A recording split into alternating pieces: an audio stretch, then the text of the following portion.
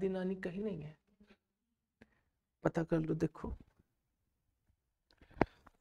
शायद हो सकता हो। अच्छा नवंबर में एग्ज़ाम के दिन तो नहीं है। क्या, एग्ज़ाम?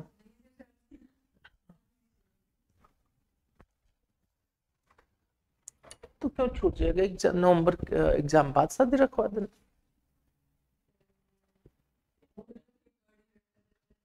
तो ठीक है, मुहूर्त तो आगे पीछे भी होते हैं ना।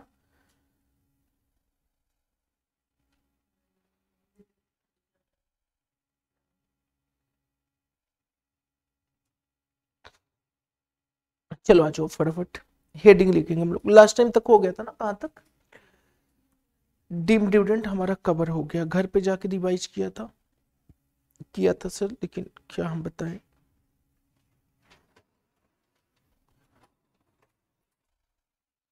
चलो, रीना जी, आपके यहाँ भी शादी होती है कोई? शादी होती आपके यहाँ भी है? अच्छा नहीं है शादी। चलो। चलो आ जाओ फटाफट एक नया चैप्टर नया टॉपिक स्टार्ट करते हैं लोग। क्या? बहुत आसान।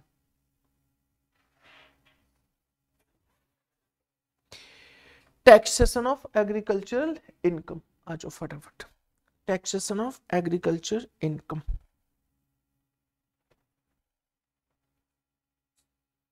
अच्छा एक चीज़ और बताऊँ इंस्टीट्यूट का ही ना एक शॉर्ट आता है, जैसे ये देखो। आपको दिखाता हूँ ये इंस्टीट्यूट का ही है, ये सारांश है, ठीक है? सारांश मतलब क्या है? समरी ये जैसे इनडायरेक्ट टैक्स का है ना, इसी तरह डायरेक्ट टैक्स का भी आता है। तो भी मैं प्रोवाइड कर दूँगा आपको इंस्टीट्यूट का ही है। देखो, कुछ भी, देखो इंस्टीट्यूट भी आपका जितना भी है ना, सारा का सारा इंस्टीट्यूट देखो समरी सब कुछ निकाल के रखा हुआ है, सब कुछ। ये दिख रहा है आपको? सारा आपको इवन समरी भी बनाने की ज़रूरत नहीं है, ये आपका सारा समराइज्ड और इससे भी समराइज में तो हम कराई देते हैं एट द टाइम ऑफ़ क्या? क्लास क्लास इसका भी समराइजेशन हो जाता है जीएसटी में। मैक्सिमम 40 पॉइंट में जीएसटी आपका कंप्लीट हो जाता है। तो जब जीएसटी आएगी तो वहाँ पे हम लोग करेंगे। लेकिन हाँ उसके पहले तो डिटेल करना ही करना पड़ेगा आपको। बिना डिटेल कुछ पॉसिबल नहीं है। तो एग्रीकल्चर इनकम पे आते हैं हम लोग एग्रीकल्चर इनकम बहुत आसान है। सबसे आसान हमारा क्या है? टैक्स उससे आसान तो टैक्स होता ही नहीं अभी तक बताना कौन कौन से कंसेप्ट हम लोग ने कवर देखो, क्या करना है ना? अभी धीरे धीरे केवल कंसेप्ट को कवर करना है कि कितने इस चैप्टर में कितने कंसेप्ट थे। उस कंसेप्ट को केवल पॉइंट याद करो। कंसेप्ट को पॉइंट याद करो, फिर कंसेप्ट क्या है वो तो हो ही जाएगा। दिक्कत हम लोग के साथ क्या होता है ना, पता है, पूरा का पूरा एक साथ लेकर रिवीजन बैठना शुरू कर देते अगर आप कंसेप्ट क्लियर है तो what will be the concept in chapter number one ये याद होना चाहिए।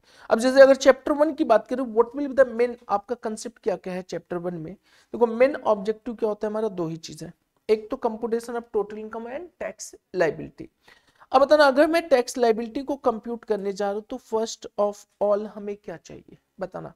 हमें वहाँ पे देखना है नॉर्मल इनकम और क्या देखना होता है बताना? स्पेशल इनकम स्पेशल इनकम की टैक्स रेट आपको डिफाइन किया गया है। अगर एलटीसीजी अंडर सेक्शन 112 है तो कितना हो जाएगा? 20 परसेंट वन ए है तो बताना 10 परसेंट लेकिन 10 परसेंट तब जब एक लाख से क्या होगा? ज़्यादा होगा। अगर short term capital gain 111 A की मैं बात कर लू तो कितना हो जाएगा? हमारा 15 परसेंट हो जाएगा। और अगर कैजुअल इनकम की बात करूँ तो उस पर टैक्स का रेट कितना हो जाएगा? Thirty percent. और एक आपको और याद होना चाहिए, एक हम लोग ने टैक्स रेट कराया था सेवेंटी एट परसेंट का। सेवेंटी एट परसेंट याद आ रहा है? Section sixty eight to sixty nine में जितने इनकम कवर हो रहे हैं, वो आपके सेवेंटी एट परसेंट पे आ जाएगा। अच्छा सेवेंटी एट परसेंट में ना टैक्स का रेट कितना हो रहा था? Sixty percent.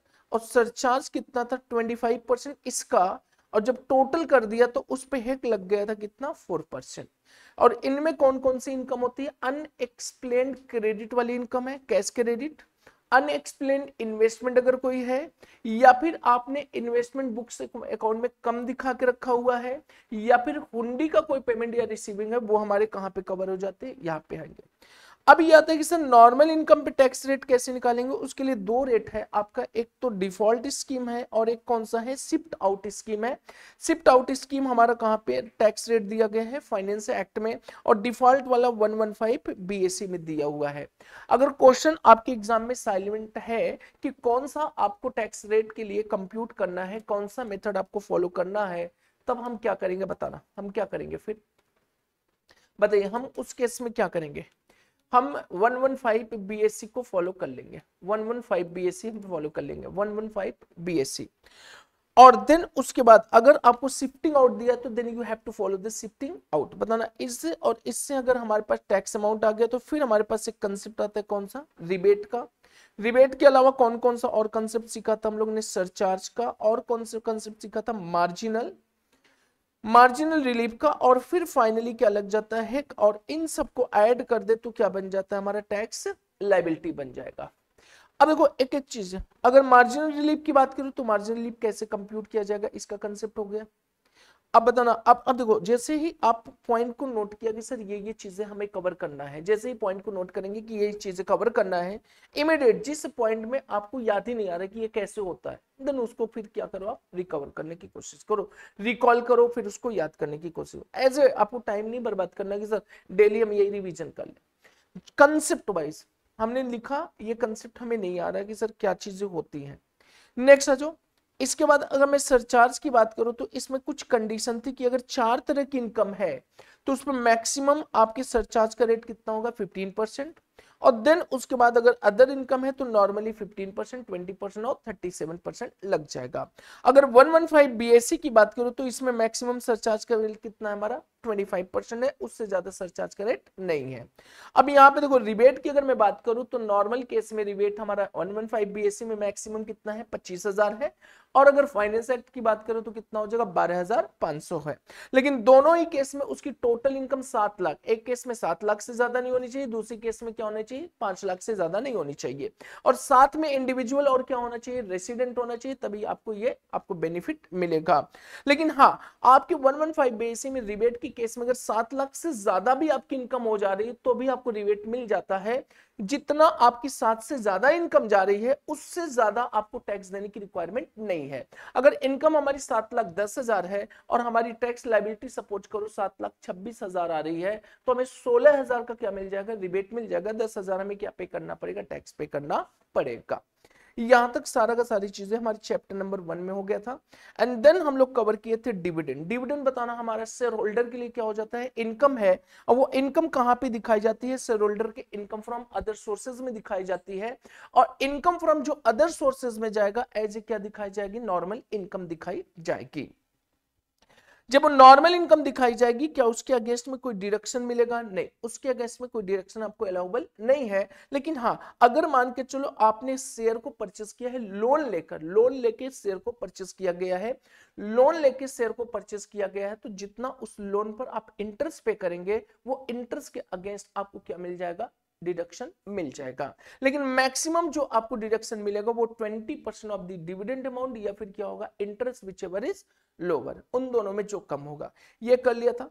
इसके अलावा बताना हम लोग ने कवर किया था डीम्ड डिविडेंड का कंसेप्ट अगर मान के चलो हमने कोई भी एसेट शेयर होल्डर को प्रोवाइड किया है फ्री ऑफ़ कॉस्ट दिया हुआ है तो बताना जो भी एसेट्स हमने दिया हुआ है, वो हमारे लिए क्या बन जाएगा? डीम डिविडेंड बन जाएगा।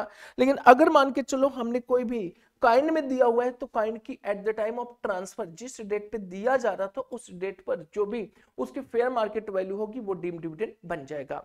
लेकिन एक चीज़ और ध्यान रखना है कि फेयर मार्केट वैल्यू के अलावा डीम डिविडेंड की अमाउंट हमारी प्रॉफिट से ज़्यादा नहीं होनी चाहिए एकोमुलेटेड प्रॉफिट से ज़्यादा नहीं होनी चाहिए। कंपनी की एकोमुलेटेड प्रॉफिट जितना भी है, उससे ज़्यादा शेयर होल्डर के हाथ में डीम डिविडेंड नहीं बन सकता है। नेक्स्ट था हमारा कि अगर लिक्विडेशन हो रहा है तो उस समय कोई एसेट को डिस्ट्रीब्यूट किया जा रहा है, या फिर कोई बोनस शेयर इशू किया जा रहा है। किसको बोनस शेयर दिया जा रहा है? इक्विटी प्रेफरेंस को दिया जा रहा है। तो इक्विटी को जो बोनस शेयर दिया जा रहा है, वो हमारा डीम डिविडेंड नहीं बनेगा। प्रेफरेंस को जो दिया जा रहा है, वो डीम डिविडेंड बन जाएगा। लेकिन इक्विटी और प्रेफरेंस को अगर कोई हमने डिबेंचर दिया है, या फिर स्टॉक दिया है तो वहाँ पे क्या बन जाएगा? डीम डिविडेंड बन जाएगा। नेक्स्ट आपका लास्ट था कि अगर कोई भी क्लोजली हेल्ड कंपनी में 10 परसेंट से ज़्यादा शेयर होल्ड किया हुआ है तो उसको हम एलिजिबल इक्विटी शेयर होल्डर बोलते हैं। और एलिजिबल इक्विटी शेयर होल्डर अगर कंपनी से लोन लेता है तो वो लोन की अमाउंट क्या बन जाएगा? डीम्ड डिविडेंट बन जाएगा इन द हैंड ऑफ़ क्या? In the hand of share holders clear या फिर उस शेयर होल्डर ने जिसने 10 परसेंट होल्ड किया हुआ है कंपनी का इक्विटी शेयर्स वो किसी और भी कंसर्न में 20 परसेंट या उससे ज़्यादा होल्ड किया है और वो कंसर्न उस कंपनी से कोई लोन ले रही है तो बताना, वो कंसर्न के हाथ में क्या बन जाएगा? डिम डिविडेंड बन जाएगा। और एक लास्ट पॉइंट था कि जो एलिजिबल इक्विटी शेयर होल्डर है, उसके बिहार पे किसी ने लोन लिया हुआ है तो बताना एलिजिबल इक्विटी शेयर होल्डर के हाथ में क्या हो जाएगा? वो टैक्सेबल हो जाएगा एज ए डीम डिविडेंड यहाँ तक बताना, सारी चीज़ें हम लोग का क्लियर हो गया था। नेक्स्ट आते हैं सी साहब लोग। नेक्स्ट पॉइंट को ध्यान रखना है। एक लास्ट और मोस्ट इंपॉर्टेंट हमारे चलने जा रहा है that is the agriculture income अब यहाँ पे आना ये बताना कि जो आपकी इनकम होती है ना, वो इनकम तीन तरह की इनकम होती है। तीन तरह की। एक होती है एग्जम्ट इनकम एक होती है नॉन टैक्सेबल इनकम एक होती है taxable income exempt income non taxable income और कौन सी इनकम टैक्सेबल इनकम जो टैक्स लाइबिलिटी फाइंड आउट किया जाएगा always be on taxable income exempt income non taxable पे कभी भी टैक्स नहीं लगाई जा सकती है। वो इनकम एसएससी की इनकम तो है बट उस इनकम पे कोई टैक्स नहीं लगाया जाएगा। अब यहाँ पे सर ये बताइए एग्जम्ट और नॉन टैक्सेबल में क्या डिफरेंट हो जाएगा? नॉन टैक्सेबल इनकम वो इनकम है जो इनकम टैक्स एक्ट के दायरे में आएगा ही नहीं। इनकम टैक्स एक्ट के दायरे में जो इनकम नहीं आ रही है, वो इनकम हमारी क्या हो जाएगी? नॉन टैक्सेबल इनकम हो जाएगी। यहाँ तक क्लियर अब जैसे आपका मान के चलो सपोज़ करो एक बंदा है, अमेरिका का बंदा है, अमेरिका का। अमेरिका का बंदा है। वो अमेरिका में रह के इनकम कमा रहा है। वो एक दिन इंडिया में आता है और इंडिया से चला जाता है। इंडिया में आता है इंडिया से चला जाता है। इंडिया से कुछ उसको इनकम हो जाती है। कुछ इनकम तो क्या उसकी पूरी इनकम इंडिया में टैक्सेबल होगी? नहीं। जितना इंडिया में उसने इनकम को क्या किया है, कमाया है, वो टैक्सेबल तो जो इंडिया के बाहर इनकम कमाया है that will be what non taxable income मतलब इनकम टैक्स एक्ट के दायरे में वो इनकम आएगा ही नहीं आएगा, उसे हम बोलते हैं नॉन टैक्सेबल इनकम लेकिन जो एग्जम्ट इनकम है, जो एग्जम्ट है, वो इनकम टैक्स के दायरे में है बट किसी सेक्शन की वजह से वो क्या हो चुका है? बाहर हो चुका है। किसी सेक्शन की वजह से वो सेक्शन टेन है टेन का हमारा लिस्ट है। सेक्शन टेन हमें बताता है कि ये ये इनकम अगर आपने कमाई है, इस पे कोई भी टैक्स आपको देने की ज़रूरत नहीं है। लेकिन हाँ वो आपके इनकम तो माना जाएगा, लेकिन उस पर कोई टैक्स चार्ज नहीं किया जाएगा। तो आज यहाँ पे सबसे पहले लिखेंगे type of income on the basis of taxability लिखेंगे types of income on the basis of taxability types of income on the basis of taxability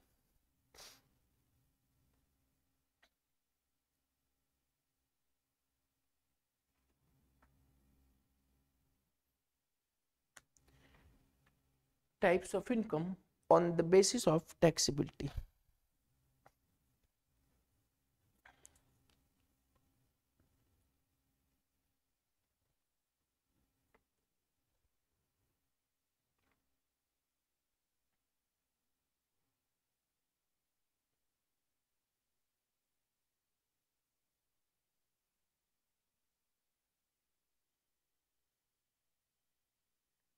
Types of income on the basis of taxability.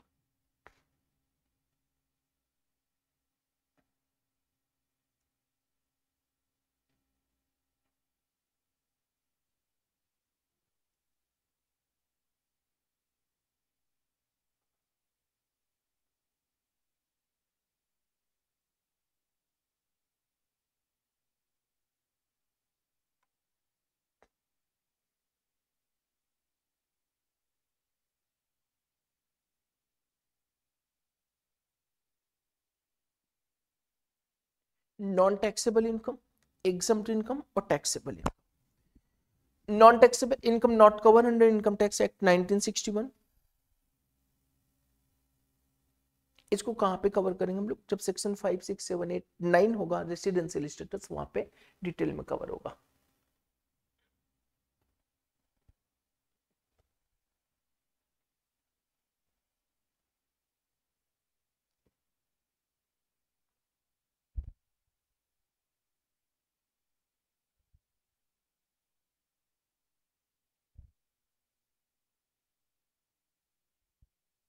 अच्छा छो दिन आपकी tax की class रहेगी और Tuesday Thursday Saturday आपकी account की क्लास दस से साढ़े ग्यारह। आठ से दस दस से साढ़े ग्यारह।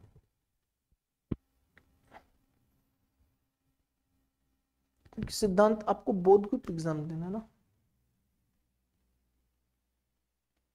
सब ज्वाइन कर सकते हाँ। मैं मैम से बात कर लूँगा। हो सकता है, उनका उसी टाइम रहता है पीटीएस में। बात कर लूँगा मैं मैम को फिर टाइम बता दूँगा आपको।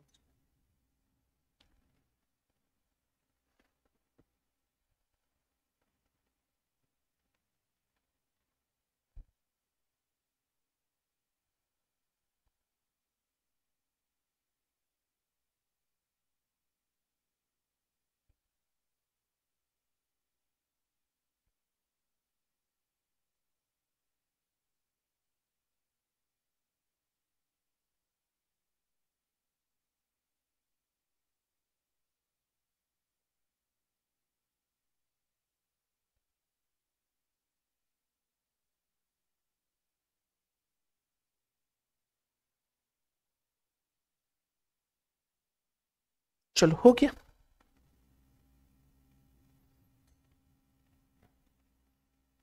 ये आपका है थर्ड चैप्टर और इसके बाद हम स्टार्ट करेंगे set off and carry forward the losses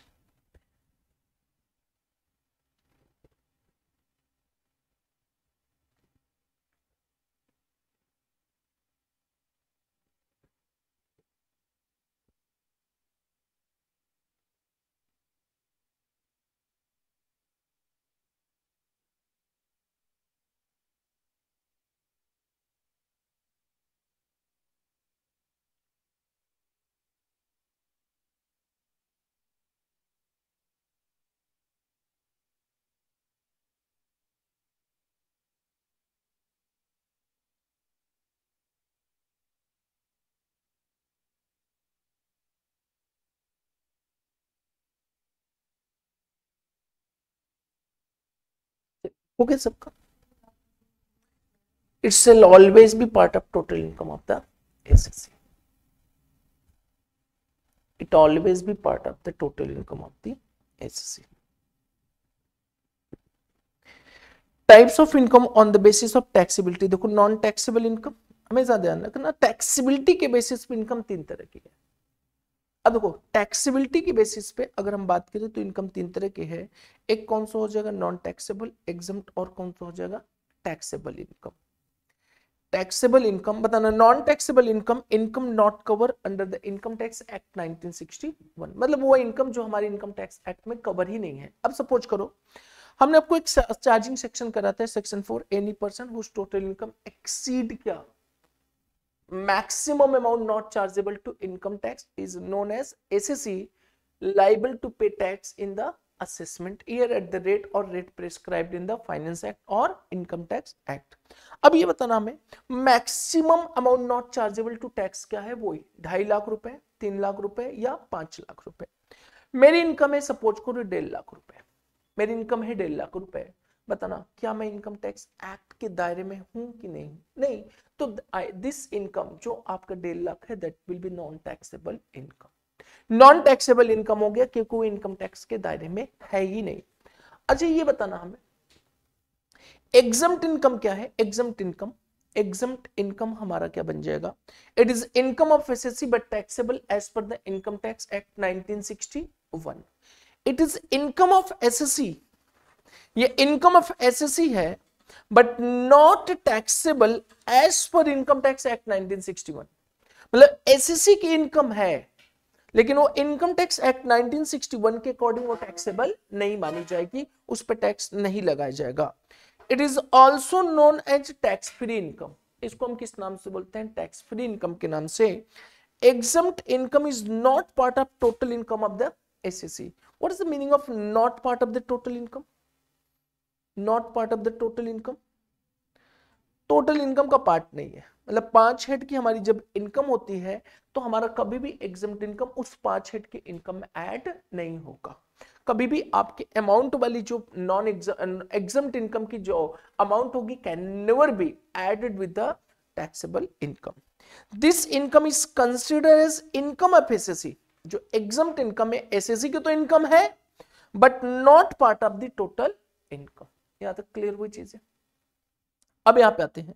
इन दोनों को ध्यान से समझना। Exempt to taxable income which is taxable as per income tax act 1961 it it is known as taxable income. It shall always be part of total income of the SSC अच्छा ये जो income है ना, ये जो income है 90 percent इसकी income section 10 में डिफाइन किया गया है। सेक्शन 10 में बताया गया है कि आपकी ये ये इनकम पे कोई टैक्स नहीं लगाया जाएगा। सेक्शन टेन में आपको बताया गया कि इस इनकम पे कोई टैक्स चार्ज नहीं किया जाएगा। अब यहाँ पे क्या है देखो? एवर देखो, दोनों के लिए हमने लिखा है कि when ever total income is computed by S S C the exempt income is also shown but not in amount column अब देखो, जैसे कि क्या है कि अगर मैं पाँच हेड की बात करूँ तो पहली हेड कौन सी आ जाती है? इनकम फ्रॉम सैलरी देन कौन सी आती है हमारे पास? Income from house property income from PGBP income from capital gain और अदर सोर्सेज अब मान के चलो इनकम फ्रॉम पीजीबीपी हो या एचपी हो, उसमें टैक्सेबल इनकम भी हो सकता है और एग्जाम्ट इनकम भी. लेकिन अगर एग्जाम्ट इनकम है तो दिखा दो कंप्यूट करते समय दिखाएँगे बट अमाउंट के कॉलम में उसकी वैल्यू क्या दिखाएँगे? ज़ीरो दिखाना है बट अमाउंट के वैल्यू में कॉलम हमें क्या दिखाना है? ज़ीरो सर ऐसा क्यों है? अगर हम वो इनकम नहीं दिखाए सपोज़ करो मेरी इनकम हो गई आज 2023 और 24 में मैंने 10 लाख रुपए कमाया। और 10 लाख रुपए ये इनकम क्या था मेरे लिए बोलो? एग्ज़ाम था।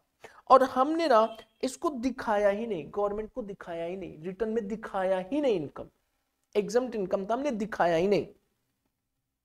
एग्ज़ाम तो हमने दिखाया नहीं और इससे सपोज़ करो, हमने कोई प्रॉपर्टी खरीद लिया इस इनकम से।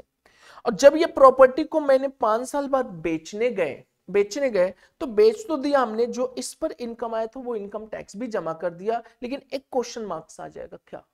कि ये आपने जो प्रॉपर्टी खरीदा था, किस पैसे से खरीदा था अनडिस्क्लोज क्या बन जाएगा हमारे लिए? इन्वेस्टमेंट या अनडिस्क्लोज इनकम का क्या बन जाएगा? पार्ट बन जाएगा। मतलब एग्जामेटेड इनकम दिखाना तो है ही है, दिखाना है बट उस इनकम पे कोई टैक्स आपको एप्लीकेबल नहीं होगा। तो ये ध्यान रखना है।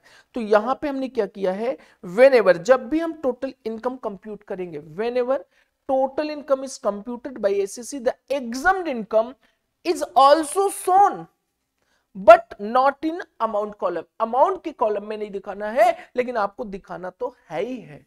Clear both income are divided into five heads both income both income मतलब सैलरी भी एग्ज़ाम हो सकता है और सैलरी टैक्सेबल भी हो सकता है। एचपी एग्ज़ाम भी हो सकता है एचपी टैक्सेबल भी हो सकता है। पीजीबीपी टैक्सेबल भी हो सकता है पीजीबीपी एग्ज़ाम भी हो सकता है। कैपिटल गेन एग्ज़ाम भी हो सकता है और कैपिटल गेन टैक्सेबल भी हो सकता है। मतलब both income is divided into five head पाँच हेड में डिवाइड किया जाएगा। तो आज यहाँ पे फटाफट लिखेंगे एक एग्ज़ाम्पल लिखेंगे एक एग्ज़ाम्पल बच्चा compute total income in the bracket taxable income of mister is A from the following information from the following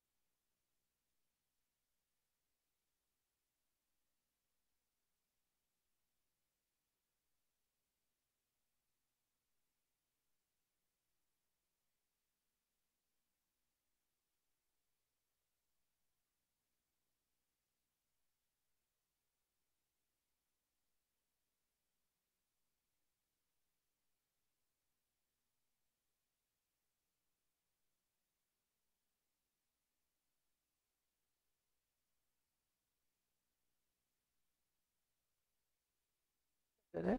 Compute total income total income means क्या? Taxable income of mister EJ from the following information income from salary exempt कितना? पाँच lakh. Taxable कितना दिया है? सात lakh. Income from HP चार लाख है। Taxable कितना है? दो लाख पचास हज़ार। एग्ज़ाम है डेढ़ लाख और टैक्सेबल कितना है? चार लाख पचास हज़ार रुपए। यहाँ तक क्लियर अब बताना टैक्सेबल कैसे आएगा? Computation of total income of mister इजे देखो इनकम फ्रॉम सैलरी एग्जाम्ट वाला कितना हो गया? एग्जाम्ट दिखाना है अमाउंट दिखाना है। टैक्स नहीं लगेगा बट आपको दिखाना है। टैक्सेबल वाला कितना हो गया? सात फिर इनकम फ्रॉम एच एग्जाम्ट है कितना? एग्जाम्ट यहाँ पे दिखा दिया।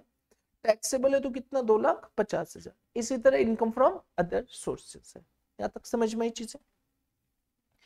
टोटल कितना हो गया? चौदह लाख। डिडक्शन और ये टोटल इनकम यहाँ तक क्लियर मतलब कंप्यूट करते समय टोटल इनकम को कंप्यूट करते समय अगर एग्जामेटेड इनकम है तो एग्जामेटेड इनकम तो दिखाना है और अमाउंट के कॉलम में आपको क्या कर देना है? एग्ज़ाम कर देना पड़ेगा। यहाँ तक क्लियर नेक्स्ट आता है यहाँ पे।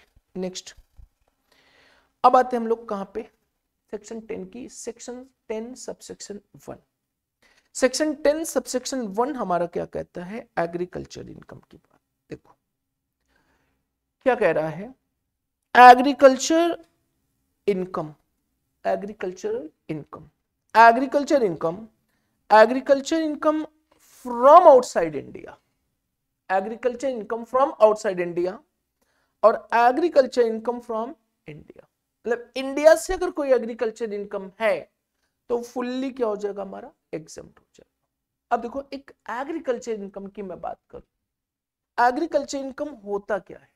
अब जैसे मैंने क्या किया सपोज़ करो आई एम अ फार्मर मैं क्या करूँगा? सबसे पहले एग्रीकल्चर लैंड की खुदाई, बुआई, जुताई करूँगा।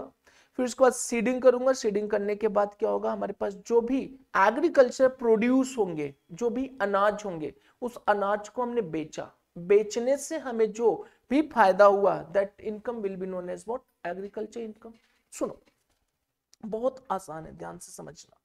हमारी टोटल इनकम कितने हेड में होती है? पाँच हेड में। पाँच हेड में होती है। सुनो।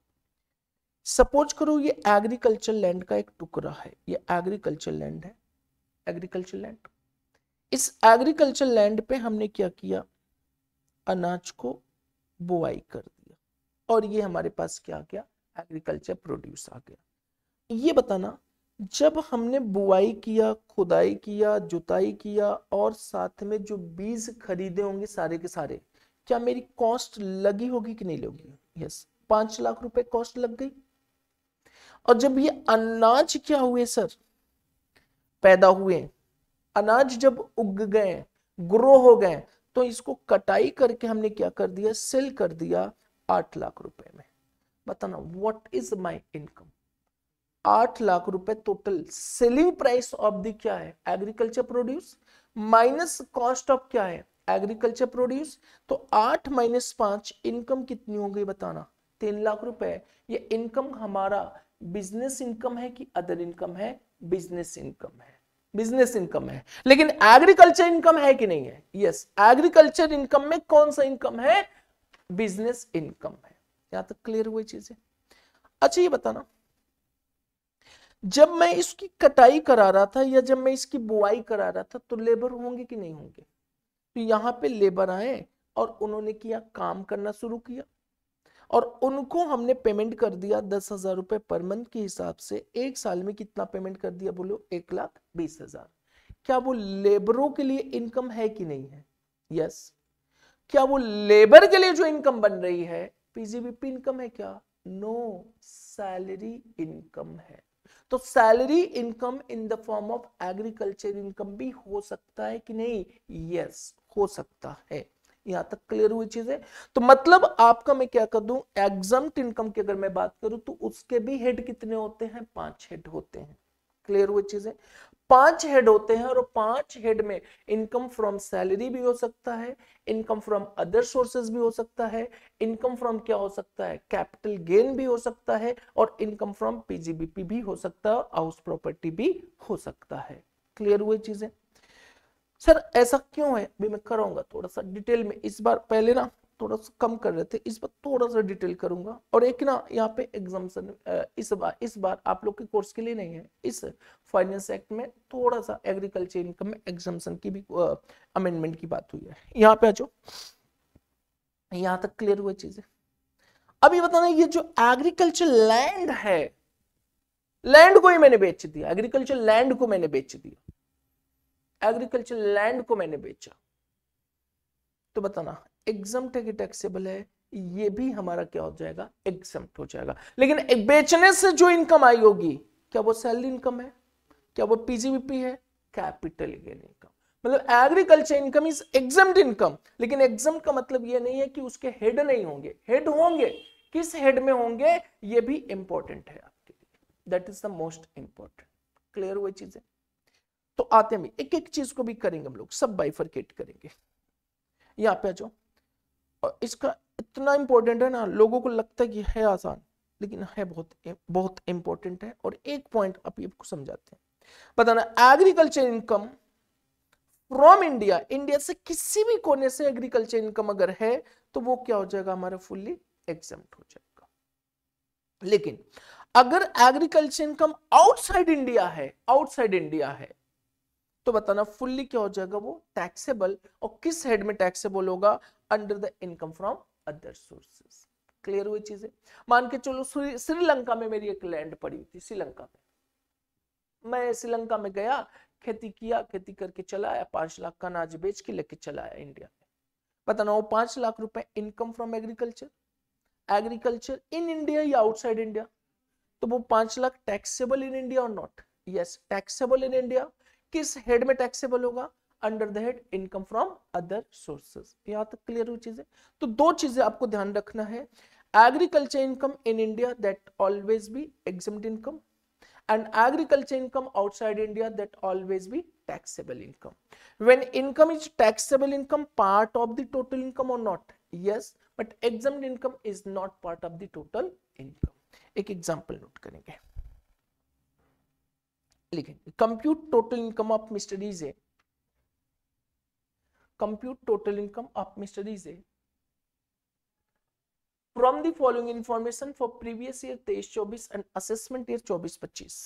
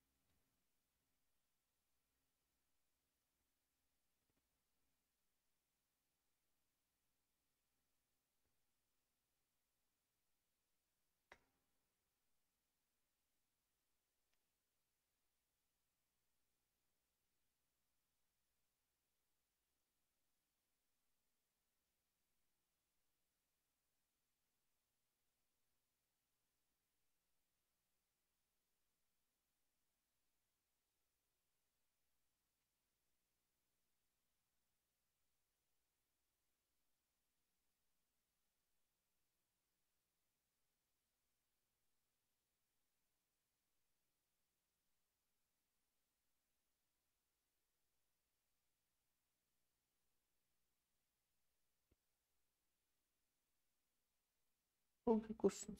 हाँ agriculture income in Sri Lanka agriculture income in India दस लाख और पाँच lakh. Compute total income of mister EJ for the previous year तेईस चौबीस। असेसमेंट ईयर है इसका चौबीस और पच्चीस।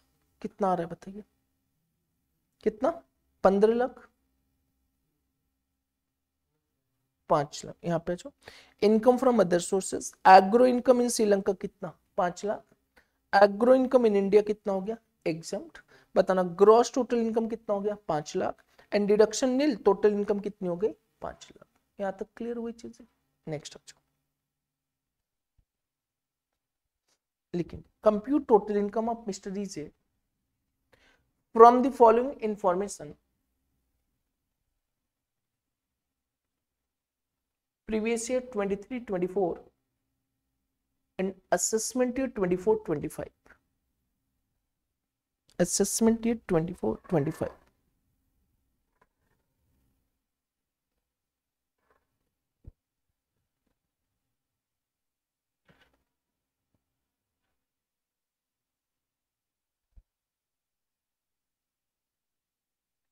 agriculture income from Sri Lanka पाँच lakh agriculture income from India सात पचास। Dividend receive from Reliance company चार lakh. Winning from lottery two lakhs fifty thousand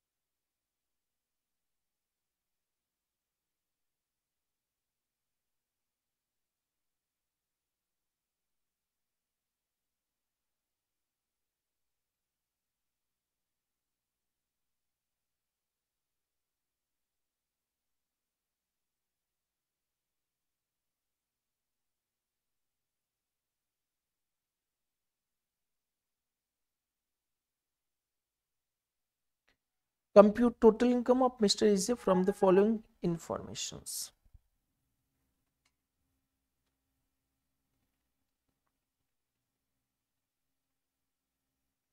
बताना हो गया कितना रहा आंसर बताना सॉल्यूशन क्या करेंगे computation of total income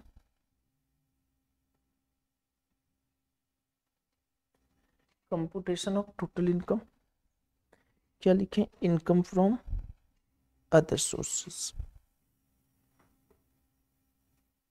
income from other sources कौन सा आ जाएगा? एग्रो इनकम कहाँ पे है? इन श्रीलंका टैक्सेबल या एग्जम्प्ट टैक्सेबल कितना हो जाएगा? पाँच लाख। बताना agro income in India exempt हो जाएगा कितना? सात लाख पचास हज़ार। तो यहाँ पे लिख दिया हम लोग एग्जम्प्ट। बताना, डिविडेंड इनकम इज़ टैक्सेबल और एग्जम्प्ट?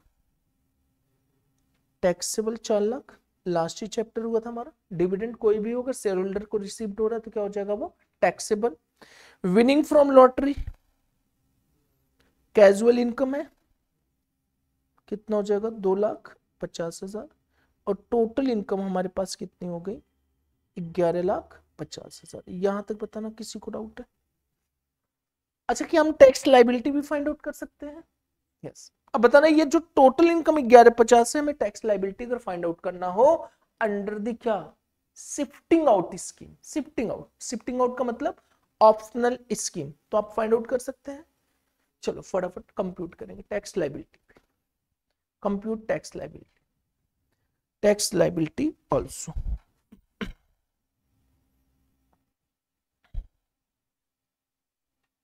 बताना, क्या करेंगे?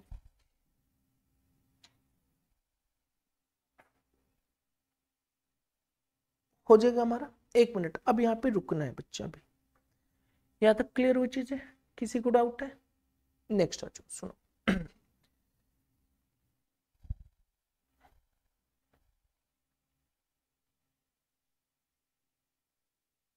अब ये बताना हमें एग्रीकल्चर इनकम इज़ एग्ज़ाम और taxable agriculture income is taxable और एग्ज़ाम टैक्सेबल और इनकम दोनों है।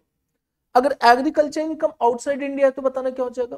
टैक्सेबल और एग्रीकल्चर इंडिया है तो क्या हो जाएगा हमारा? इनकम एग्ज़ाम हो जाएगा। अब यहाँ पे आता है, एक कंसेप्ट है। एक कंसेप्ट है। Partially integration in case of क्या? एग्रीकल्चर अब ध्यान से करना है। देखो क्या कर। रहे हैं point number two as per the income tax act 1961 agriculture income is fully क्या? एग्ज़ाम कौन सी वाली बात कर रहा है वो? एग्रीकल्चर इनकम इन इंडिया या outside India in India but but important At the time of calculation of tax liability, such agriculture income shall be considered as क्या? Taxable income.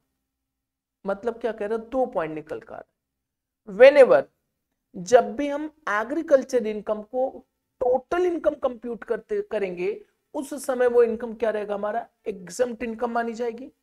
लेकिन जैसे हम टैक्स लाइबिलिटी कंप्यूट किए, करेंगे, उस समय ये इनकम क्या बनने वाली हमारी? टैक्सेबल इनकम बनने वाली है। क्लियर एक बेनिफिट मिलने वाला है, आगे कह रहे हैं।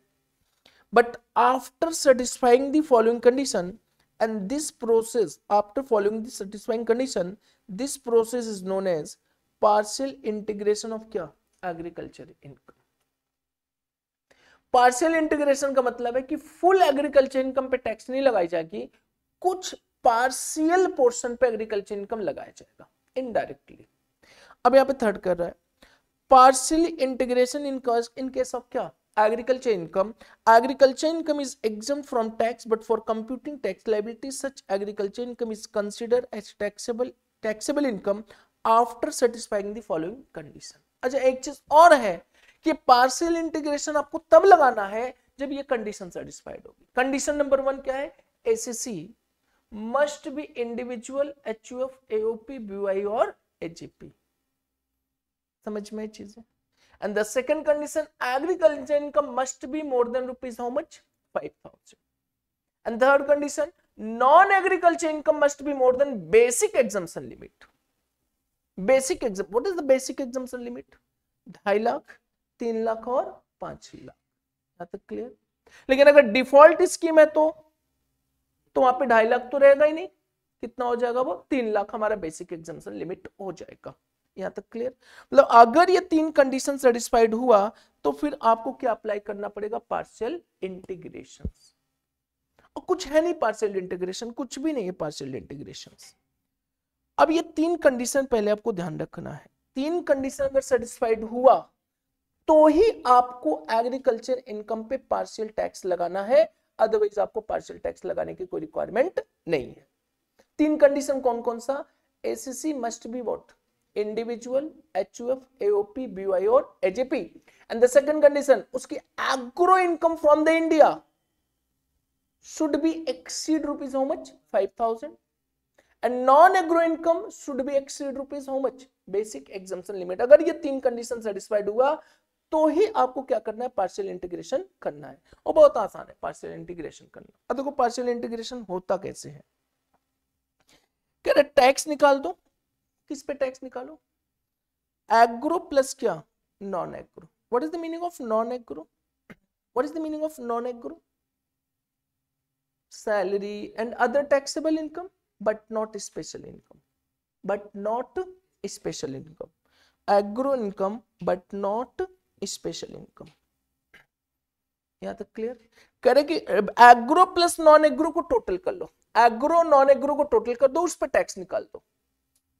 पॉइंट नंबर ए फिर बेसिक एग्जामेशन लिमिट को ले लो और प्लस एग्रो इनकम को ऐड कर दो। उस पर टैक्स निकाल दो। दोनों को माइनस कर दो। अभी आपकी टैक्स अमाउंट बनेगी। समझ में आई चीज़ें? अभी आपकी, आपका टैक्स अमाउंट बनेगा और इसमें फिर ऐड कर दो टैक्स ऑन स्पेशल इनकम और फिर रिबेट जैसे प्रोसेस करते हम लोग, वैसे करेंगे। यहाँ तक क्लियर एक एग्जांपल नोट करेंगे। लिखेंगे बच्चे लोग।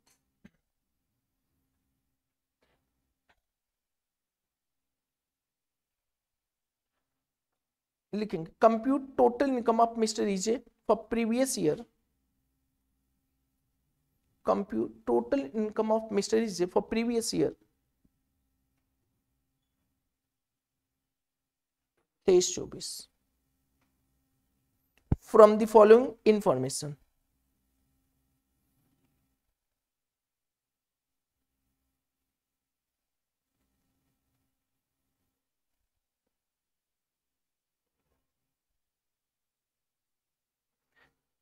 compute total income of Mr. Eze for previous year 23-24 from the following informations. Agro income है 4900 नॉन एग्रो इनकम है 450 also compute normal income compute tax liability under option scheme under option scheme अच्छा एक काम करते हैं ना हम लोग।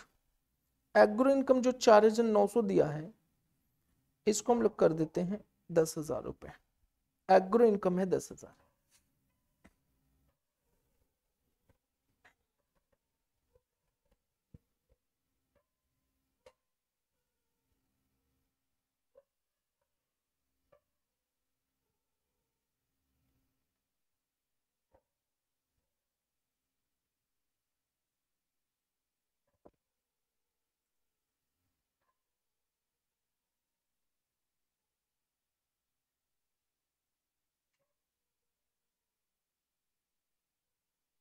चलिए, हो गया।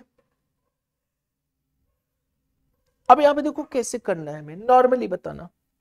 सबसे पहले तो कह रहे इनका कंप्यूट कर दो टोटल इनकम चलो, आ जाओ। आराम से साथ साथ चलो, कोई दिक्कत नहीं है। Solutions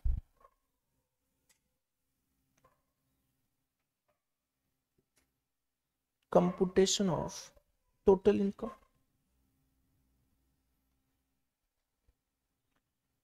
बताना total income agro non agro कोई हेड नहीं दिया है, कोई बात नहीं है। तो बताना एग्रो इनकम कितना हो गया बताइए? दस हज़ार। अब ये मैं क्वेश्चन का जवाब दू, ये एग्रो इनकम इन इंडिया है कि आउटसाइड इंडिया अगर कुछ नहीं है तो क्या मानेंगे? In India agro income in India कितने रुपए हो गए बताना? दस हज़ार मतलब क्या हो जाएगा ये? एग्ज़ाम या टैक्सेबल एग्ज़ाम हो जाएगा। क्योंकि एग्रो इनकम इन इंडिया क्या हो जाएगा हमारा? एग्ज़ाम हो जाएगा। एंड नॉन एग्रो कितना है? नॉन एग्रो इनकम चार लाख पचास हज़ार। तो बताना टोटल कितनी होगी इनकम हमारे पास? चार लाख पचास हज़ार। यहाँ तक क्लियर कर ऑल्सो कंप्यूट नॉर्मल इनकम बताना ये चार पचास जो आ रहा है मेरे पास, ये नॉर्मल है कि स्पेशल है। कुछ भी नहीं बोल रहा है तो नॉर्मल इनकम कितनी होगी हमारे पास? चार लाख पचास हज़ार। यहाँ तक क्लियर करें कंप्यूट टैक्स लाइबिलिटी क्या हम चार पचास पे डायरेक्टली कंप्यूट कर दें? बताना। कंप्यूट कर दें कि नहीं? नहीं। अगर आपका तीन कंडीशन सेटिस्फाइड हो गया तो बताना हम क्या करेंगे? पार्शियल इंटीग्रेशन के अकॉर्डिंग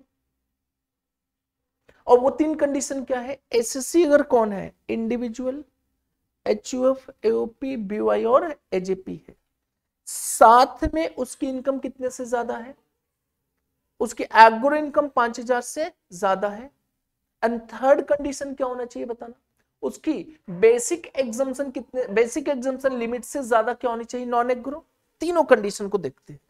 अगर वो तीन कंडीशन सेटिस्फाइड हो गया तो अभी तक जैसे हम टैक्स लाइबिलिटी कंप्यूट कर रहे हैं, वैसे नहीं, बल्कि किस तरह से कंप्यूट करना है? पार्शियल इंटीग्रेशन तीनों कंडीशन चेक करते हैं हम लोग सेटिस्फाइड है कि नहीं है? बताना। कंप्यूट मिस्टर इजे मिस्टर इजे क्या है? बोलिए।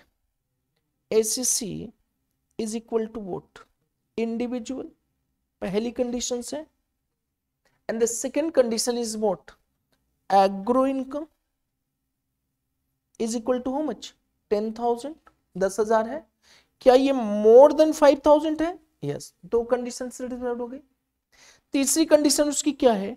नॉन एग्रो नॉन एग्रो का मतलब क्या? नॉर्मल इनकम नॉन एग्रो का मतलब क्या? नॉर्मल इनकम कितने से ज़्यादा होनी चाहिए? बेसिक एग्जामेशन से ज़्यादा होना चाहिए, जो कि कितना दिया हुआ? चार पचास। इज़ मोर देन कौन से ऑप्शन से जा रहे हैं हम लोग? देखो, कौन सी स्कीम से जा रहे हैं? ऑप्शनल वाला। और ऑप्शनल में बेसिक एग्जामेशन की लिमिट कितनी है? दो लाख पचास हज़ार। क्या ये तीनों कंडीशन सेटिस्फाइड और नॉट अब बताना। Partial integrations integrations partial integration is possible or not? Is possible? यहाँ तक क्लियर समझ में आई चीज़ें? देखो, दो चार क्वेश्चन में तो कंडीशन सेटिस्फाइड करो, उसके बाद आदत बन जाएगी। अब बताना हम क्या करें? जब पार्शियल इंटीग्रेशन अप्लीकेबल है तो हम पॉइंट नंबर ए देंगे। देखो कैसे करेंगे। टैक्स ऑन एग्रो प्लस क्या? नॉन एग्रो क्लियर चलो, रीना, लिखना बंद करो, यहाँ पे समझ टैक्स ऑन क्या? Agro plus non agro. ये कब करेंगे?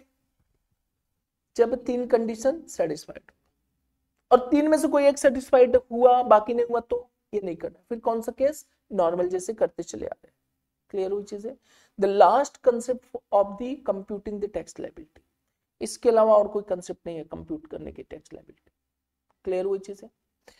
बताना tax on agro plus non agro agro income कितनी दी है बोलो? दस हज़ार।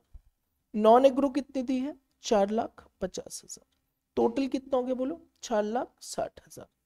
अब इस पे टैक्स किस स्कीम से लगाना है हमें? ऑप्शनल। तो बताना, ये नॉर्मल इनकम की कैटेगरी वाला है कि स्पेशल? नॉर्मल की कैटेगरी वाला है। स्पेशल अगर होगा तो नहीं लेना है। कंसीडर नहीं करना है अभी। तो बताना क्या हो जाएगा? Zero to two fifty at the rate क्या? नील, टैक्स अमाउंट कितना हो गया? नील। एंड नेक्स्ट बताना 250 to five lakhs, that means how much? 460 at the rate five percent कितना आ गया बताना? दो लाख दस हज़ार का पाँच परसेंट कितना है? दस हज़ार पाँच सौ। इसका टोटल कर दिया, दस हज़ार पाँच सौ। इसको हमने बोला पॉइंट नंबर ए समझ में चीज़ें? नहीं करना है किसी को। अच्छे से समझ लो पहले। Point number B tax on बताना क्या करेंगे? Agro income plus basic exemption limit अब बताना एग्रो कितना मेरे पास? दस हज़ार है। और बेसिक कितना हो जाएगा? ढाई लाख रुपए। टोटल कितना हो गया? तीन लाख पचास हज़ार। तो ज़ीरो टू टू फिफ्टी बताइएगा कितना? सॉरी दो लाख साठ हज़ार। तो एट द रेट क्या हो गया? नील नील अमाउंट हो गया। और दो लाख पचास हज़ार से कहा तक? दो लाख साठ हज़ार। एट द रेट कितना? फाइव परसेंट पाँच सौ। अब बताना पॉइंट नंबर बी कितना हो गया? पाँच सौ। यहाँ तक बताना, किसी को डाउट है? बोलो। अब क्या करेंगे? टैक्स इज़ इक्वल टू हो जाएगा ए माइनस बी दस हज़ार पाँच सौ माइनस पाँच सौ कितना हो गया? दस हज़ार। यहाँ तक क्लियर दस हज़ार। बताना। दस हज़ार और इसमें ऐड करेंगे टैक्स ऑन स्पेशल इनकम अगर है तो। कितना हो गया दस हज़ार? अब बताना रिबेट आएगा कि नहीं आएगा? रिबेट के लिए हम टोटल इनकम चेक करते हैं। और टोटल इनकम कितनी है? पाँच लाख के अंदर है। तो रिबेट आ जाएगा एटी सेवन ए और कितना आ जाएगा? दस हज़ार पूरा। माइनस कर दिया तो टैक्स अमाउंट कितनी हो गई? नील चलो, फटाफट इसको कंप्यूट करेंगे। लेकिन ये बताना हमें, ये पार्शियल इंटीग्रेशन प्रोसेस कब लगाना है? जब हमारे पास एग्रो इनकम है। एग्रो इनकम कहाँ पे है? इन इंडिया इन इंडिया है, एग्रो इनकम, और वो भी कितने से ज़्यादा है? पाँच हज़ार से ज़्यादा है। क्लियर? और दूसरी कंडीशन को assessee must be individual H U F AOP and BOI and third condition non agro non agro special या नॉर्मल नॉर्मल नॉन एग्रो हमारा क्या होना चाहिए? बेसिक एग्जामेशन लिमिट से ज़्यादा. अगर ये तीन कंडीशन सेटिस्फाइड हो गया है then you have to apply the partial integration clear इसको नोट कर हो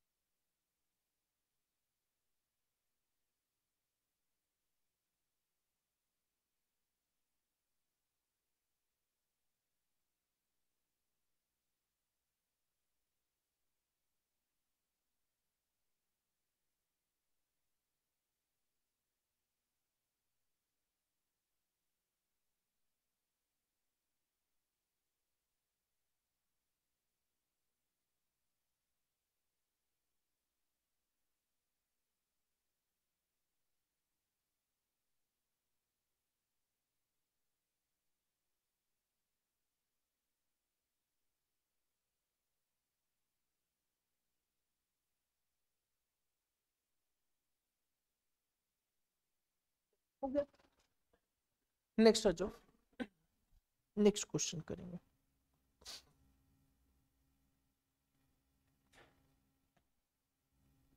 compute tax liability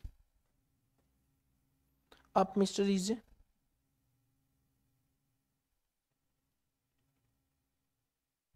from the following informations.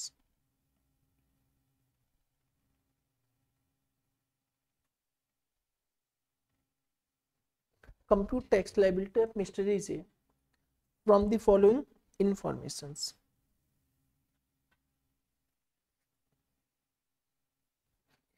Agro income है आठ हज़ार नॉन एग्रो इनकम है four lakh ninety seven thousand ये नॉन एग्रो नॉर्मल वाले हैं नॉर्मल इनकम अच्छा कौन सी स्कीम से आपको कंप्यूट करना है? लिख लें।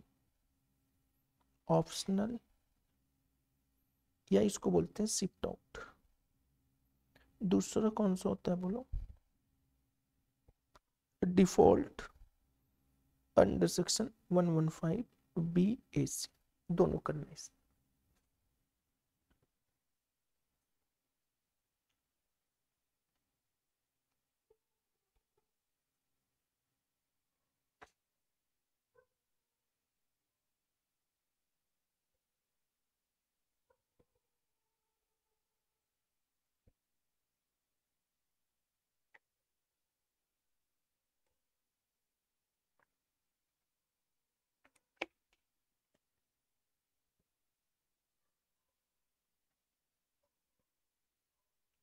कंडीशन चेक करना है। अगर तीन कंडीशन सेटिस्फाइड हो गया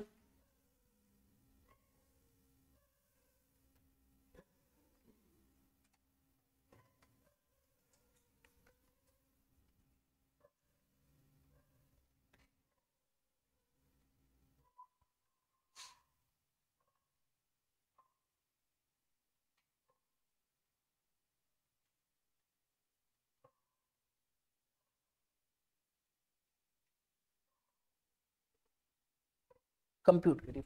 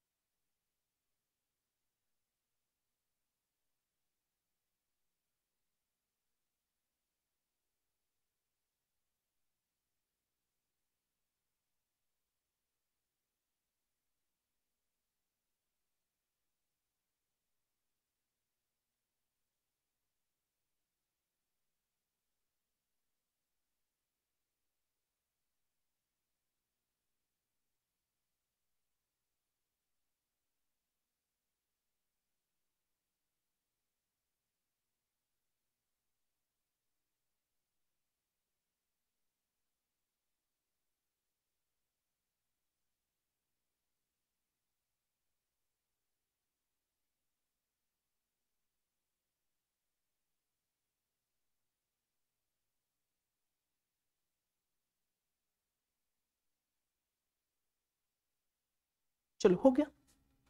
कितना आ रहा ऑप्शनल में? एक हज़ार। एक हज़ार रुपये और बताइए हाँ सीधा। ऑप्शनल में नील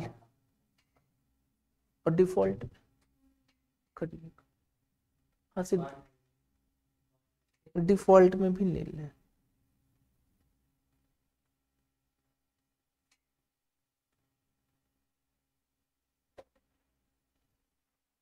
चलो अच्छा ऑप्शनल कर ले। कर लेते बताना इंटीग्रेशन होगा कि नहीं होगा? होगा। क्यों होगा? तीन कंडीशंस हमारी सेटिस्फाइड है। तो बताना तो हम टैक्स लाइबिलिटी इंटीग्रेशन वाले से करेंगे।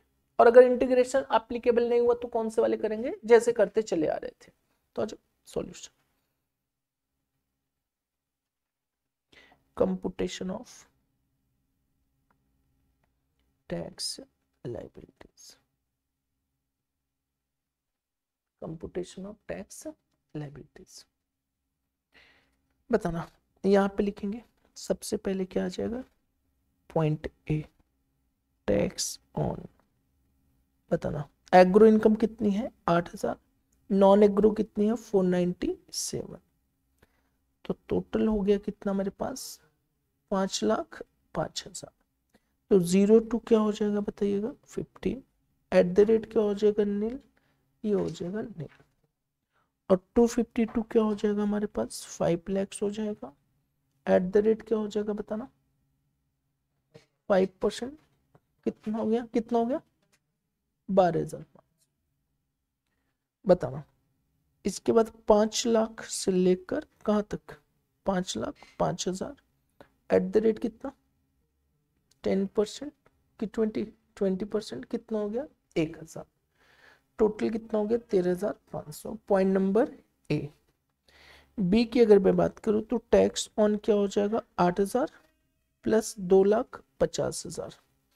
तो बताना, हम यहाँ पे आ जाएगा zero to two fifty at the rate क्या?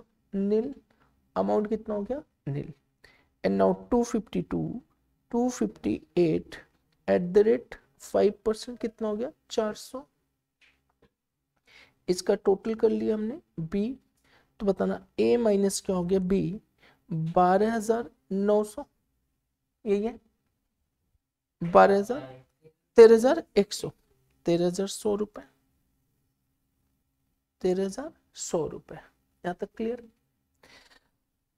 अब बताना हम क्या करेंगे? इसमें रिबेट देंगे कि नहीं देंगे? Yes rebate under section 87 A बताना पहली पॉइंट रिबेट आएगा कि नहीं आएगा?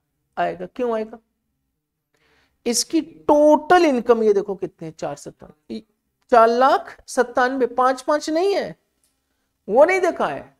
इधर इनकम नहीं देखना है। इनकम तो हमारा ये देखना है what is the taxable income what is the total income total income कितने में four lakh ninety seven thousand तो four lakh ninety seven thousand, जो कि पाँच लाख से कम है तो रिबेट कितना हो जाएगा? हंड्रेड परसेंट ऑफ़ तेरह हज़ार सौ, या फिर पॉइंट नंबर टू क्या हो जाएगा? बारह हज़ार पाँच सौ। विच एवर इज़ क्या हो जाएगा? लोअर बारह हज़ार पाँच सौ। तो बताना कितना आ गया? छह सौ। और प्लस क्या आ जाएगा? हेक at the rate four percent कितना? चौबीस रुपए। टोटल टैक्स लाइबिलिटी आ गई छह सौ चौबीस, जो कि किसी का आंसर ही नहीं आता अब तक।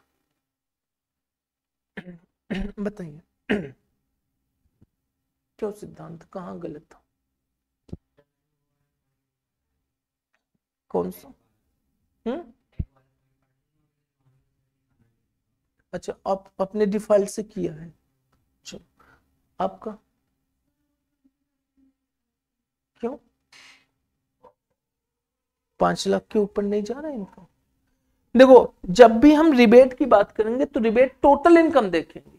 और टोटल इनकम इसकी कितनी इस क्वेश्चन में? Four lakh ninety seven thousand जो कि पाँच लाख के अंदर है। चलो, आ जाओ।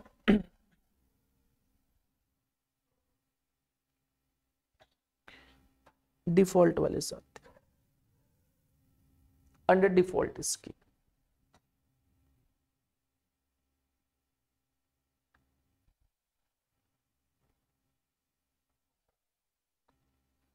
under default scheme बताना अगर डिफ़ॉल्ट स्कीम की मैं बात करूँ, वापस से यहीं पे पॉइंट नंबर ए आ जाएगा।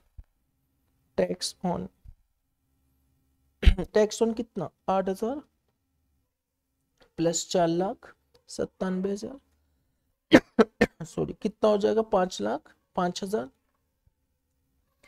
बताना पाँच लाख, पाँच हज़ार और यहाँ पे आ जाएगा zero to two fifty at the rate rupees how much nil sorry two fifty नहीं, कितना रहेगा हमारे पास? Three lakhs and three lakhs at the rate nil is equal to क्या हो जाएगा? Nil and three lakhs to how much five lakh five thousand at the rate five percent is equal to how much ten two fifty और total कर दिया ten two fifty का. And the point number B आ जाएगा tax on बताना. आठ हज़ार plus कितना? तीन लाख रुपए, क्योंकि यहाँ पे बेसिक एग्जामेशन लिमिट क्या होता है हमारा? तीन लाख रुपए। तो zero to three lakhs at the rate nil is equal to nil और थ्री लैक्स टू कितना? Three lakhs eight thousand at the rate five percent rupees how much चार सौ। Point number A point number B तो बताना A minus B कितना हो गया? Nine eight five zero. और यहाँ पे आ जाएगा rebate, under section eighty seven A, बताना कितना? Hundred percent of nine eight five zero या फिर पॉइंट नंबर टू कितना? पच्चीस हज़ार whichever is lower nine eight five zero, ये हो गया हमारे पास नील बताना यहाँ तक क्लियर जिसको डाउट हो वो डाउट बताए बताना बच्चों यहाँ तक किसी को डाउट है?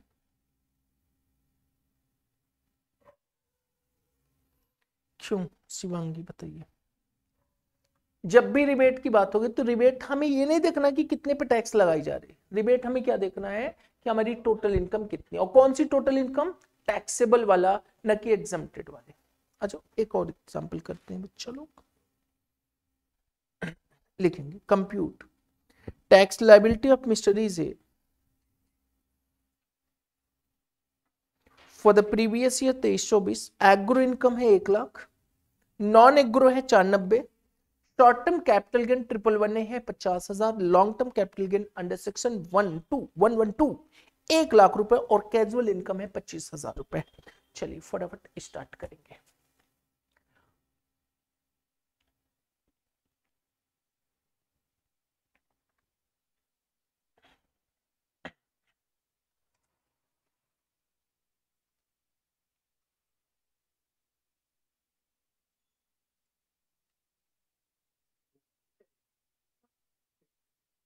बाहर नहीं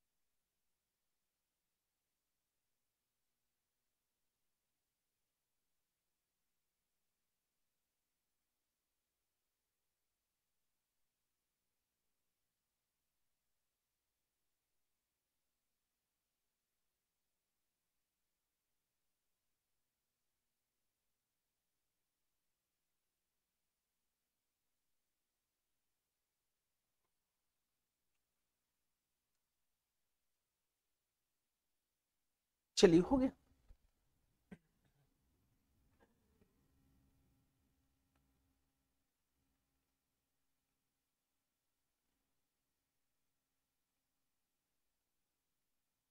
किससे करना डिफ़ॉल्ट या फिर ऑप्शनल ऑप्शनल से करिए।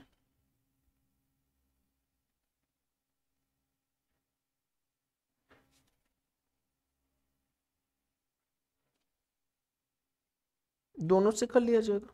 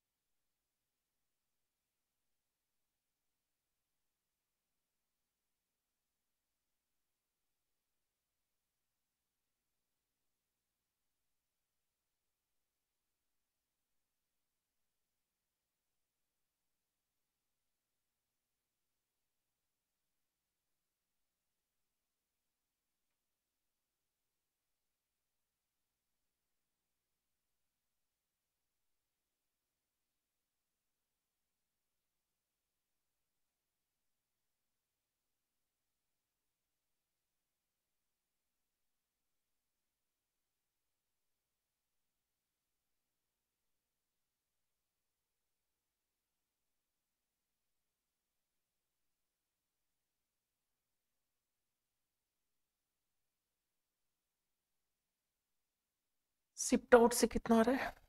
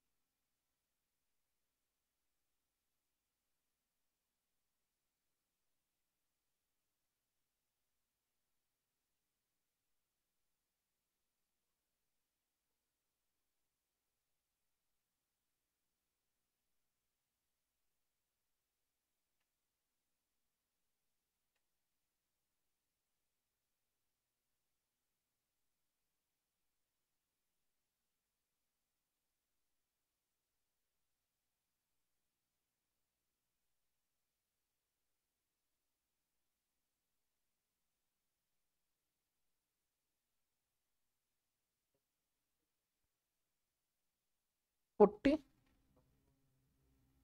two hundred. चौबीस हज़ार पाँच सौ। Forty four two hundred. हाँ डिफ़ॉल्ट से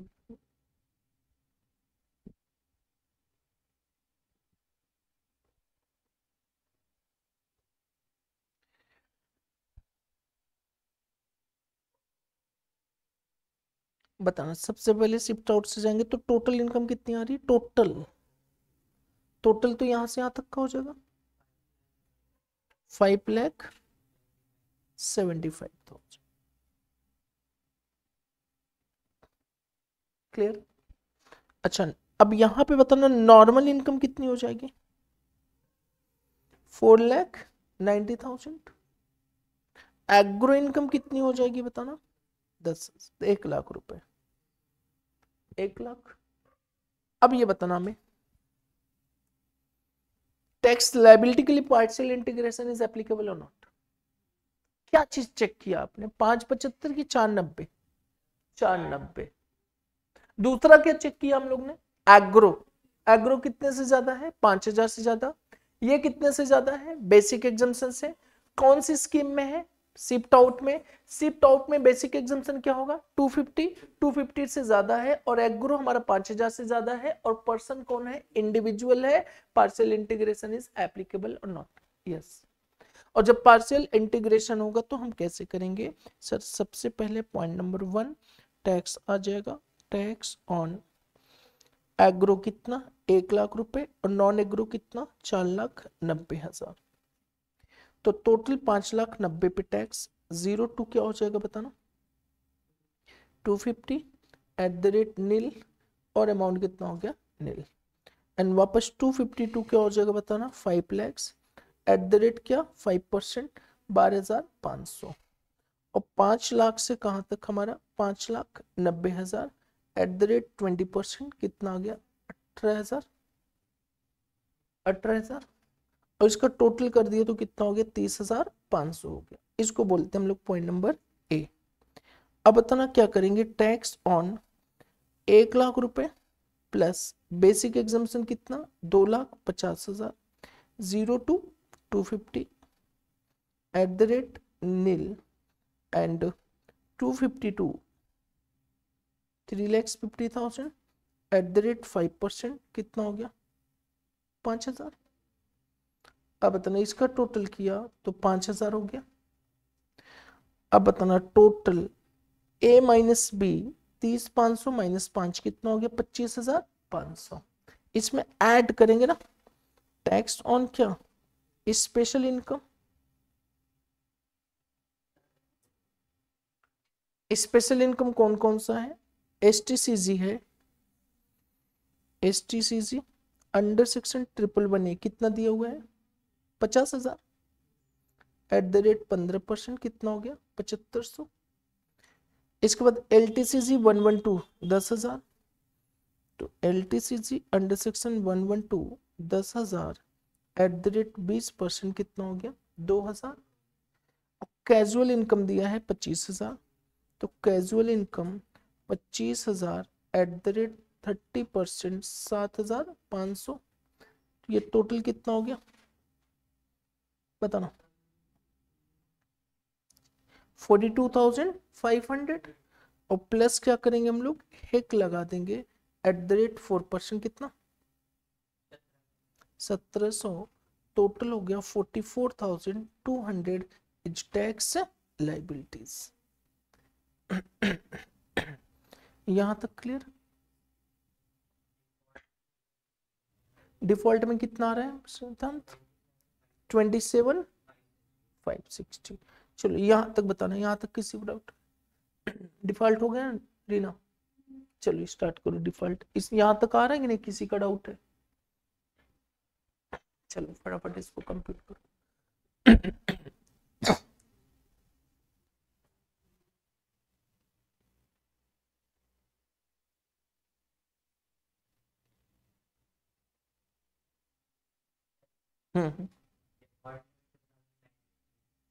Two thousand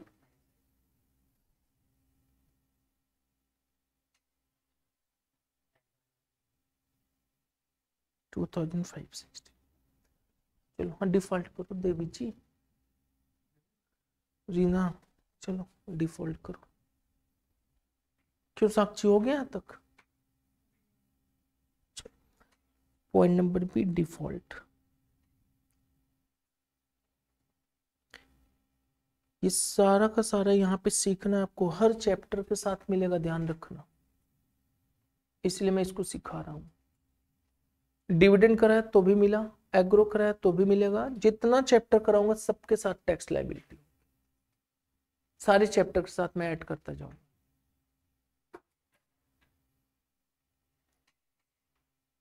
बताना default scheme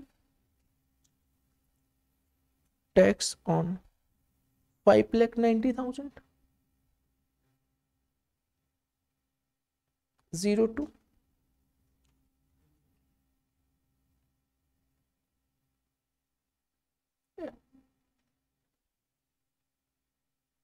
कितना आ रहा है?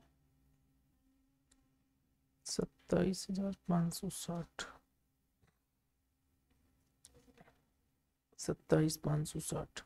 चलो, ये कितना हो गया?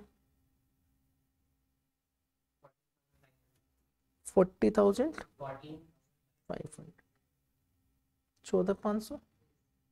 पॉइंट नंबर ए बताना टैक्स ऑन कितना हो जाएगा हमारा? फोर लैक्स ना? Zero to three lakhs nil three lakhs to क्या? Four lakhs at the rate five percent पाँच हज़ार? टोटल किया कितना आया? पाँच हज़ार। ए माइनस बी कितना हो गया? उन्नीस हज़ार पाँच सौ। अच्छा नौ हज़ार पाँच सौ। नौ हज़ार पाँच सौ।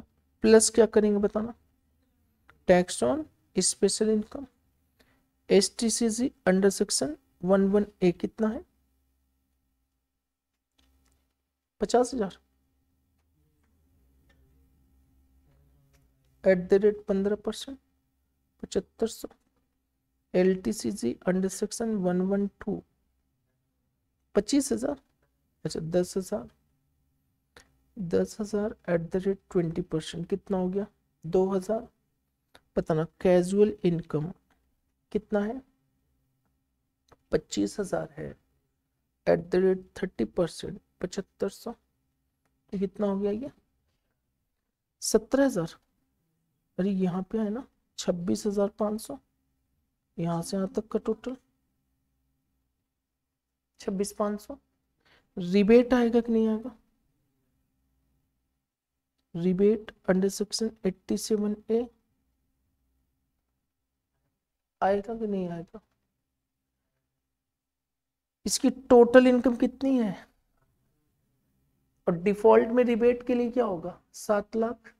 तो rebate under section eighty seven A hundred percent of छब्बीस हज़ार पाँच सौ? या फिर क्या हो जाएगा? पच्चीस हज़ार विच एवर इज़ क्या? लोअर पच्चीस हज़ार का रिबेट एक हज़ार पाँच सौ रुपये यहाँ तक क्लियर और प्लस क्या करेंगे हम लोग? एक लगाएँगे at the rate four percent साठ रुपए।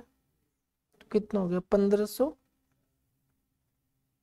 क्लियर और इधर कितना आ रहा था? पच्चीस सौ साठ। उसके पीछे रीजन क्या है? आपने पच्चीस, सत्ताईस, पाँच सौ साठ कंप्यूट किया और डायरेक्टली क्या किया? पच्चीस माइनस किया। पच्चीस पे तो ऑलरेडी क्या लगा हुआ है? हिक लगा हुआ, चार परसेंट तो नोट करो फटाफट। कितना है आंसर? पंद्रह सौ साठ रुपए। अभी तक भी बताओ, आंसर करेक्ट नहीं आ रहा। तीसरे चैप्टर में पहुँच गए। कोई बात नहीं, मैं पता है वो गलतियाँ होती रहेगी। इसीलिए इसको हम पहले चैप्टर में कवर कराते हैं और फिर कहाँ तक जाएँगे हम लोग? लास्ट नेक्स्ट जाओ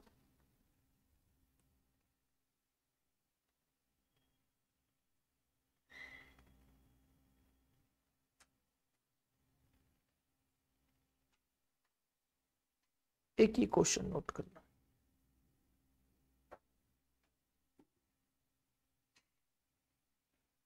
देखिए compute tax liability of mister is for assessment year चौबीस पच्चीस।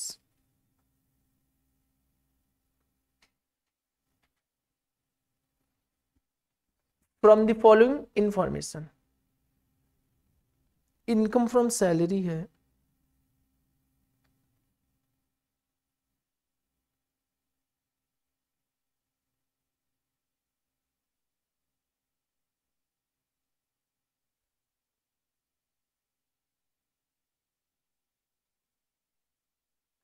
इनकम फ्रॉम सैलरी है, दस लाख रुपए। एग्रो इनकम पाँच लाख। कैजुअल इनकम है, एक लाख पचास हज़ार। एक लाख पचास हज़ार। Long term capital gain under section one one two है, ढाई लाख रुपए, दो लाख पचास हज़ार। Short term capital gain under section one one one A है, पाँच लाख पचास हज़ार। पीजीबीपी है एक करोड़ पचहत्तर lakh. One crore seventy five lakhs इस पीजीबीपी ये रहेगा हमारा होमवर्क यहाँ तक clear that is the homework अब आ जाओ यहाँ पे। नेक्स्ट क्वेश्चन चलो, ठीक। यहाँ तक क्लियर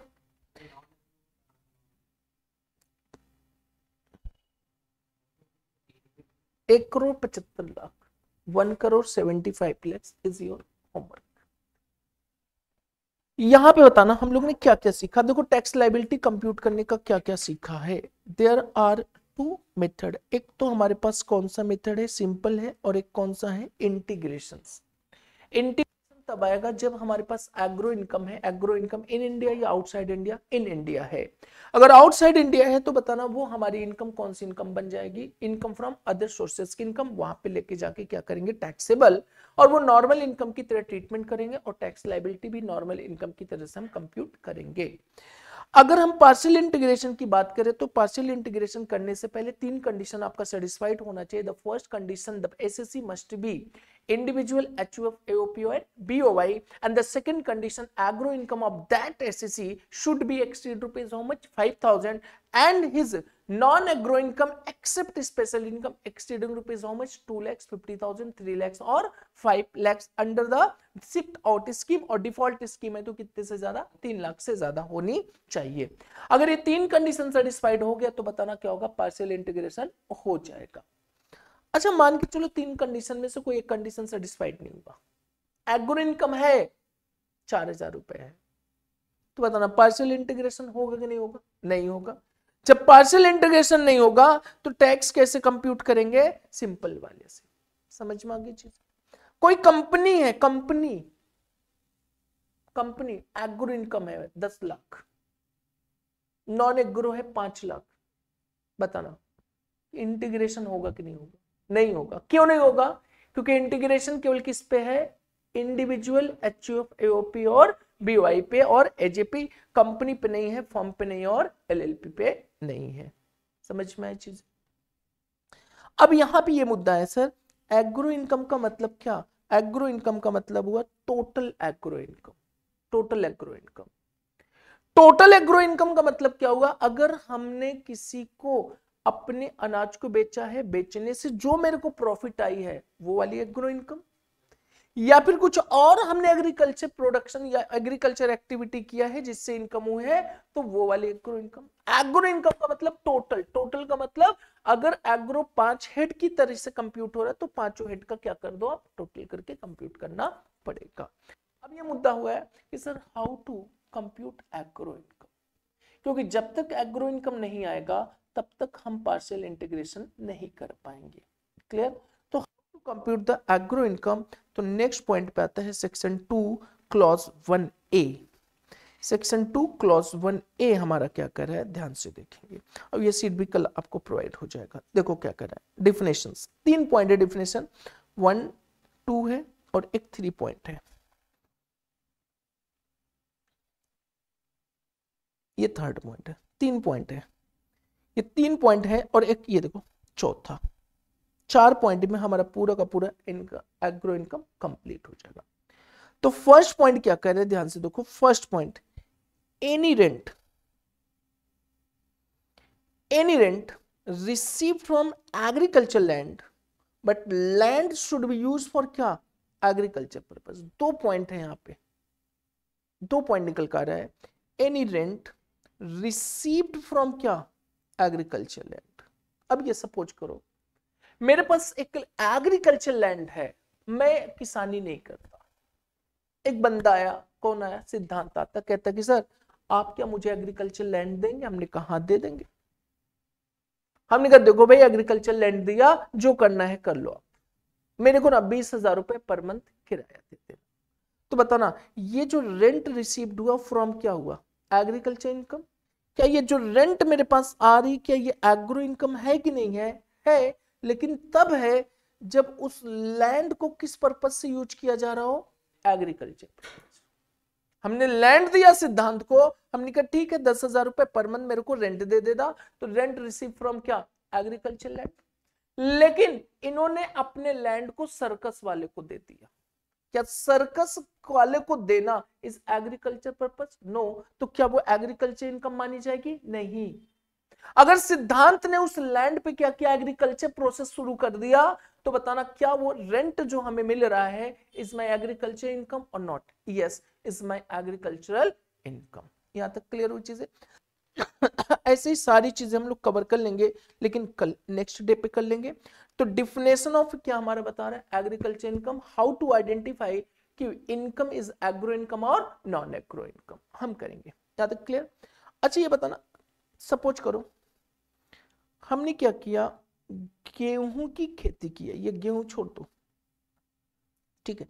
चाय की बात करो। चाय की हमने खेती की। तो चाय की पत्ती जो मिली agriculture process are not yes चाय को हमने किया किया? पैक किया और पैक करके चाय पत्ती को बेचना शुरू कर दिया। क्या ये भी एग्रीकल्चर प्रोसेस है कि नहीं है? सारी चीज़ें हम लोग कवर करेंगे। क्लियर शुगर कैन हमने क्या किया? प्रोड्यूस किया। और शुगर केन को सुगर केन नहीं बेचा, बल्कि उसको चीनी बना के क्या कर दिया हमने? कन्वर्ट करके बेच दिया। क्या ये एग्रीकल्चर है कि नहीं है? ये सारी चीज़ें कवर करेंगे। बट फ़र्स्ट ऑफ़ ऑल ये देखना है कि sir what will be my agriculture income in India तो एग्रीकल्चर इनकम क्या क्या है? सारी चीज़ें। चार डिफिनेशन है। चारों डिफिनेशन को हम लोग अच्छे से कवर करेंगे। अगर वो चारों डिफिनेशन में हमारे प्रोसेस कवर हो गए तो वो हमारे प्रोसेस कौन से बन जाएँगे? एग्रीकल्चर और उस प्रोसेस से जितनी भी इनकम मेरे को जनरेट होगी, वो इनकम कौन सी इनकम मानी जाएगी? एग्रीकल्चर इनकम मानी जाएगी। यहाँ तक क्लियर हुई चीज़ें? तो चलो, फटाफट देखो, आज हम क्या करेंगे? क्विक एक रिवीजन कर ले, दो पॉइंट क्या क्या चीज़ें हैं। देखो, हम लोग ने क्या सीखा? That is the integration integration आपका तभी पॉसिबल है जब एग्रो इनकम होगी। लेकिन एग्रो इनकम कहाँ की होनी चाहिए? इन इंडिया अगर आउटसाइड इंडिया है तो हमारा फुल्ली क्या हो जाएगा? टैक्सेबल हो जाएगा। और टैक्सेबल होने के बाद उस इनकम को कौन सी इनकम मानी जाएगी? हमारी नॉर्मल इनकम मानी जाएगी। लेकिन अगर एग्रो इनकम इन इंडिया है तो बताना क्या हो जाएगा? वो at the time of computing the total income exam हो जाएगा। लेकिन जैसे आप टैक्स लाइबिलिटी कंप्यूट करने जाएँगे तो तीन चीज़ें आपको देख देखना है। यदि ये एग्रो इनकम कोई individual H F AOP BY और एजेपी का है तो बताना और उसके बाद ये एग्रो इनकम पाँच हज़ार से ऊपर है और साथ में non agro income except special income हमारी बेसिक एग्ज़ाम लिमिट से ज़्यादा है तो हम क्या अप्लाई करेंगे? पार्शियल इंटीग्रेशन और पार्शियल इंटीग्रेशन की केस में tax on agro plus non agro income और फिर tax on agro plus basic limit दोनों का जो डिफरेंस आएगा प्लस करेंगे टैक्स ऑन स्पेशल इनकम तब हमारा जाके बनेगा टैक्स अमाउंट और रिबेट है तो रिबेट देंगे और अगर हमारा हेक है तो हेक चार्ज कर दिया जाएगा, तब जाके क्या बनेगा टैक्स लाइबिलिटी बन जाएगा। लेकिन अगर ये तीन कंडीशन से एक भी कंडीशन फुलफिल नहीं हुआ तो उस केस में हमारा फिर पार्शियल इंटीग्रेशन एप्लीकेबल नहीं होगा, फिर कौन सा वाला लगेगा जो हमने प्रीवियसली पढ़ा हुआ था। स्टडी मटेरियल उम्मीद करते हैं सबका आ गया होगा। क्यों? तो स्टडी मटेरियल के कुछ क्वेश्चन आपको हम होमवर्क दे रहे हैं। कुछ क्वेश्चन करके आना है। चैप्टर नंबर वन में ही है आपका ये पोर्शन चैप्टर नंबर वन में।